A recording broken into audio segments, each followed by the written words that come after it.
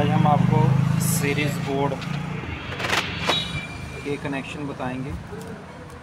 जैसे कि हमें कोई भी इलेक्ट्रिकल अप्लाइंसेज अगर चेक करना हो तो उसमें हमें सीरीज़ बोर्ड की रिक्वायरमेंट होती है। तो आज हम आपको बताएँगे कि हम सीरीज़ बोर्ड कैसे बना सकते हैं और कैसे किसी भी अप्लाइंसेस को चेक कर सकते हैं। इसमें हमें किन किन चीज़ों की रिक्वायरमेंट है? सबसे पहले ये लैंप है, ये स्विच है, ये सॉकेट है टू पिन ये स्विच है। ये सॉकेट है। थ्री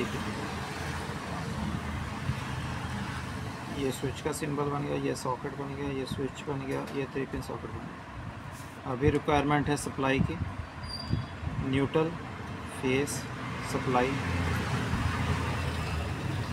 सबसे पहले हमने फेस की वायर को स्विच में देना है। स्विच से दूसरी वायर को उठा के टू पिन सॉकेट के पहले टर्मिनल को देना है। न्यूट्रल की वायर उठाकर हमने लैंप के पहले टर्मिनल को, दूसरे टर्मिनल से वायर को उठाकर हमने टू पिन सॉकेट के सेकंड टर्मिनल को देना इससे हमारा ये सीरीज़ बन गया। जब भी हम कोई चीज़ टेस्ट करेंगे तो लैंप चलेगा।